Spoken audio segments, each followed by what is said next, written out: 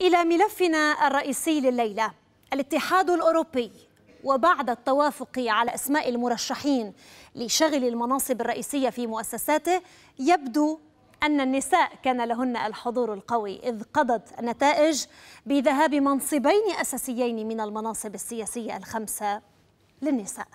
نبدأ مع المفوضية الأوروبية التي تعتبر أعلى المناصب الأوروبية. أصبحت من نصيب وزيرة الدفاع الألمانية أورسولا فون دير لاين لتخلف بذلك المفوض السابق جان كلود يونكر.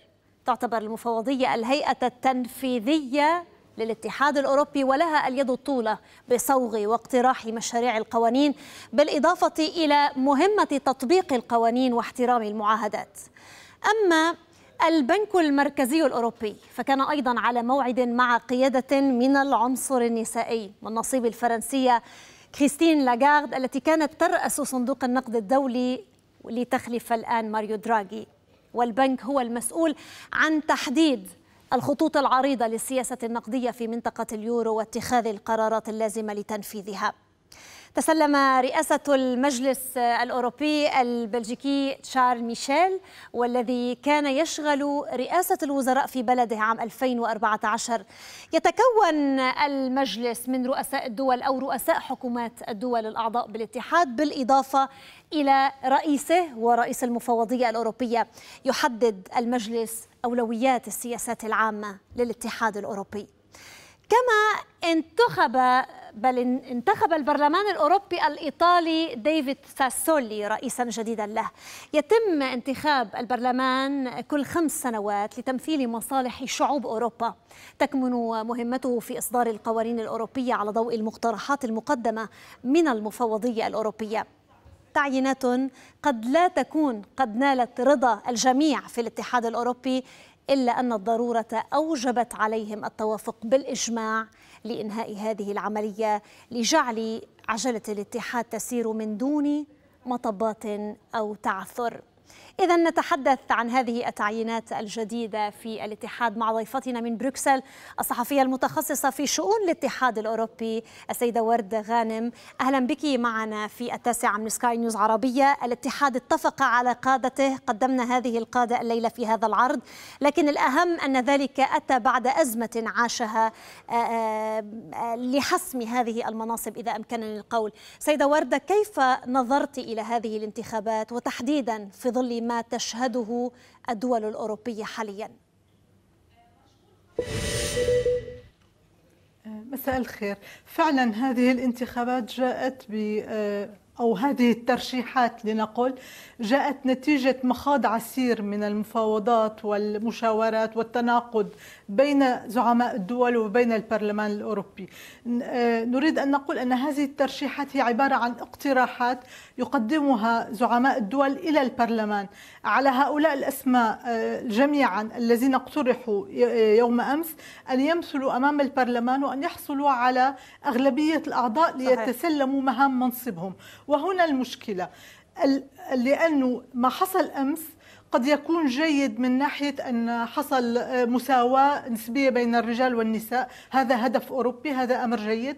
ولكن هذه المساواة كانت بمثابة ورقة توت أخفت عيوب كثيرة. أه. اللي حصل أمس كان لا يراعي أبدا موضوع التوازن الجغرافي بين الدول القديمة والدول الحديثة أو دول أوروبا الشرقية. ولا يراعي أبدا نتائج الانتخابات التي حصلت في 26 مايو الماضي.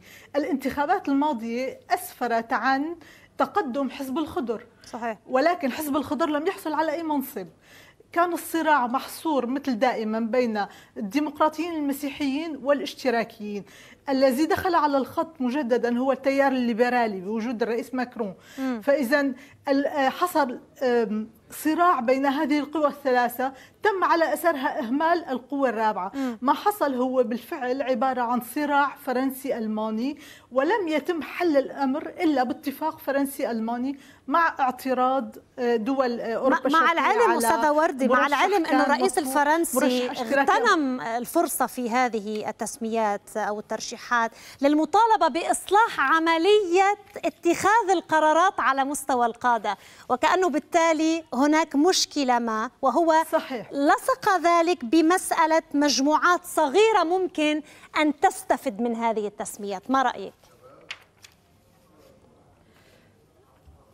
صحيح آه، الرئيس ماكرون طرح مشكلة ولكن طرح نصف المشكلة أه. يعني هناك عدة مشاكل هو طرح جزء واحد منها أنه طريقة الانتخاب يجب تغيير طريقة الانتخاب هذا جزء جيد ولكن الجزء الثاني أن طريقة الانتخاب يجب أن تراعي بالكامل آه، بالكامل نتيجة الانتخابات. وهذا ما لا تريده العواصم وبالذات باريس لأن الدول الأوروبية تريد أن تحتفظ باليد الطولة في موضوع تعيينات المناصب الكبرى. وهذا ما شهدناه خلال الأيام الثلاثة. هم يريدون أن أن يثبتوا موقفهم أنه نحن أصحاب القرار، صحيح تم انتخابات، صحيح البرلمان له كلمة ليقولها، ولكن نحن من نقترح، نحن من نريد، ولم يتم التوافق على هذه الأسماء إلا إلا باتفاق فرنسي آه، فرنسي ألماني. رأينا أنه عدة عدة لوائح صدرت وكل مجموعة برلمانية رشحت شخص تم استبعاد شخص معين تم استبعاد مجموعة معينة. النتيجة جاءت توافقية. توافقية لمصلحة من؟ لمصلحة زعماء الدول لمصلحة م. الأحزاب الكبرى. ولكن أمامنا امتحان البرلمان الأوروبي. اليوم مجموعة الخضر قالت بصراحة لن تصوت لصالح هذه الحزمة لأنها هي يمكن تسميتها الرابح في الانتخابات والخاسر في التعيينات. فإذا أمامنا معركة آه، أو جولة ثانية من المعركة من المعركة التعيينات خلينا نتحدث عن هذه المعركة التي تنتظر الاتحاد الأوروبي أستاذة وردة. نحن نحن الليلة نتوقف عند التسميات م. لكن إذا ما نظرنا إلى المرحلة المقبلة التي تنتظر الاتحاد م. مسألة البريكزيت أمور عديدة آه، اليوم تواجه هذا الاتحاد. كيف آه، تنظرين إلى التحديات المقبلة أمام هذه التشكيلة؟ التشكيلة على ما يبدو التشكيلة الحالية لن تغير كثيرا في أه. سياسة الاتحاد على الفترة القادمة لأنه التشكيلة جاءت إذا مرت هذه التشكيلة ولم يحصل تعديلات في المستقبل سنفترض أن هذه التشكيلة هي التي ستتولى الأمور آه، لدينا من المحافظين ومن الليبراليين ومنصب الممثل الأعلى للإسباني جوزيف بوريل ومنصب رئيس البرلمان لاشتراكي إيطالي. فإذا الاشتراكيين مناصب أقل أقل تأثيرا أستطيع أن أقول.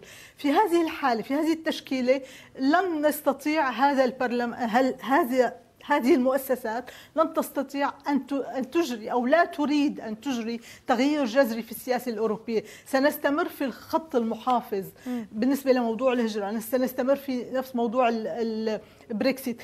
الأهم هو موضوع البيئة لأنه كان في طلب من المواطنين الأوروبيين على سياسة آه، باتجاه سياسات بيئية. أكثر فعالية. ولا حزب المحافظين ولا الاشتراكيين معنيين جدا بالبيئة. هم معنيين بشؤون المال بشؤون الأعمال بالاقتصاد بالاستثمار. وهذه ليست سياسات بيئية صديقة للبيئة بالضبط. فإذا لا أستطيع توقع تغير جوهري في السياسة الأوروبية على المدى المنظور على مدى السنوات الخمس القادمة. شكرا جزيلا لمشاركة الصحفية المتخصصة في شؤون الاتحاد الأوروبي وعلى قراءتها أيضا الأستاذة وردة غانم من بروكسل. شكرا.